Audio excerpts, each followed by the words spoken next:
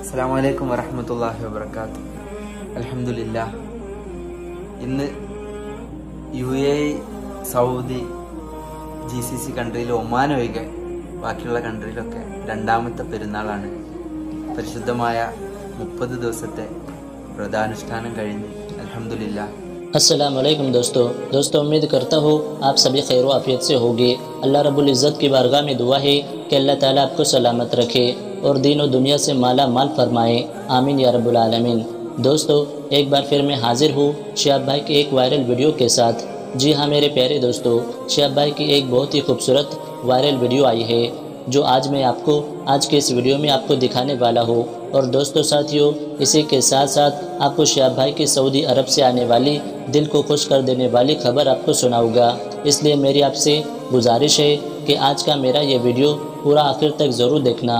और इसी के साथ साथ शियाब भाई के लिए कमेंट बॉक्स में जाकर माशाल्लाह सुबहान अल्लाह ज़रूर लिखना। मेरे प्यारे दोस्तों, जैसा कि हम सभी को पता है कि हमारे प्यारे शियाब भाई मदीना शरीफ के बेहद ज़्यादा करीब पहुँच चुके हैं। अल्लाह के फजलो करम से मदीना शरीफ इंशाल्लाह बहुत जल्द पहुँचने ही वाले हैं। मेरे प्यारे दोस्तों, इसी बीच शियाब भाई की एक और वायरल वीडियो आती है, जो बेहद खूबसूरत है।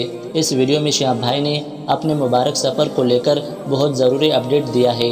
और इसीलिए शियाब भाई का आज का ये वीडियो देखना आप सभी के लिए बेहद ज़्यादा ज़रूरी है। लेकिन मेरे प्यारे दोस्तों, ये वीडियो देखने से पहले आपसे एक छोटी सी गुजारिश है कि अगर आप हमारे चैनल पर नहीं आए हो तो चैनल को अभी सब्सक्राइब करके बेल आइकन को भी ज़रूर दबा दें। और अगर वीडियो पसंद आए तो लाइक, कमेंट, शेयर ज़रूर करें। चलिए दोस्तों, सबसे पहले आप शियाब भाई का ये वायरल वीडियो देख लीजिए, फिर आगे मैं आपसे इस टॉपिक पर बात करता हूँ।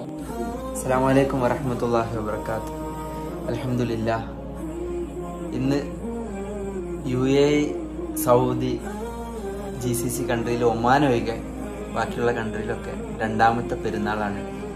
പരിശുദ്ധമായ മുപ്പത് ദിവസത്തെ വ്രതാനുഷ്ഠാനം കഴിഞ്ഞ് അലഹമില്ല ഇന്നലെ ഒന്നാം പെരുന്നാളിലേക്ക് പ്രവേശിച്ച്. ഇന്ന് രണ്ടാമത്തെ പെരുന്നാളാണ്. നാട്ടിൽ ഇന്നാണ് പെരുന്നാൾ. അപ്പോൾ എല്ലാവർക്കും ഈദ് മുബാറക്. ഒരുപാട് സന്തോഷമുണ്ട് അലഹമില്ല ഇന്ന് ഞാൻ ഈ ഫാമിലിന്റെ കൂടെയാണ്. ഇന്നലെയും പെരുന്നാൾക്ക് ഇവിടെ ഭക്ഷണവും കാര്യങ്ങളൊക്കെ ഇവിടെ കൂടെയായിരുന്നു. ഇവിടുത്തെ ഒരു പള്ളി ഉണ്ടായിരുന്നു. അതാണ് ഏറ്റവും വലിയ മനസ്സിന് സന്തോഷമായ ഒരു കാര്യം എന്ന് പറഞ്ഞാൽ ഇവിടെ ഒരു ഒരുപാട് വർഷം പണി കഴിപ്പിച്ച ഒരു പള്ളി പണി നടന്നുകൊണ്ടിരിക്കുന്ന ഒരു പള്ളി ഉണ്ടായിരുന്നു. ഇന്നലെയാണ് അതിന്റെ ഓപ്പൺ ഉണ്ടായിരുന്നത്. അലഹമില്ല ഫസ്റ്റ് ദിവസത്തെ ഫസ്റ്റ് നമസ്കാരത്തിന് തന്നെ എനിക്ക് അവിടെ എത്താൻ പറ്റി. ഫജർ നമസ്കാരം കഴിഞ്ഞ് ഈദ്ഗാഹിന് എത്താൻ കഴിഞ്ഞു. അവിടെ തന്നെ ജുമ നിസ്കരിക്കാനും കഴിഞ്ഞു.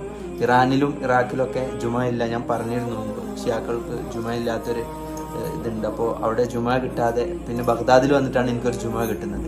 അത് കഴിഞ്ഞ് പിന്നെ ഇറാഖിൽ നിന്ന് കുവൈത്തിൽ വന്നിട്ടാണ് എനിക്ക് പിന്നെ ജുമ റാഹത്തായിട്ട് കിട്ടുന്നത്. അപ്പോൾ ഇപ്പോൾ അലഹമില്ല റാഹത്തായിട്ട് പെരുന്നാൾ നിസ്കാരം ജുമ ഒക്കെ കിട്ടി റാഹത്തായി. ഞാനിപ്പോൾ मेरे प्यारे दोस्तों, जैसा कि आपने देखा, श्याम भाई का ये वायरल वीडियो मुझको पूरी उम्मीद है दोस्तों, आपको ये समझ में आ गया होगा कि श्याम भाई ने क्या कहा है।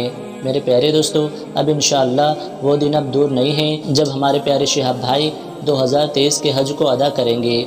जी हाँ मेरे प्यारे दोस्तों, सऊदी अरब से ख़बर ये है कि शहाब भाई जुल्फ शहर से 40 किलोमीटर आगे सफ़र करके मदीना शरीफ के बेहद करीब पहुँच चुके हैं। दोस्तों, साथियों, जैसे जैसे शिहाब भाई मदीना शरीफ के करीब पहुँचते जा रहे हैं, वैसे वैसे सऊदी अरब के लोग माशाल्लाह शिहाब भाई के साथ जुड़ते ही जा रहे हैं और जगह जगह पर शिहाब भाई का इस्तेमाल किया जा रहा है। सऊदी अरब के लोग शिहाब भाई से बेहद खुश है।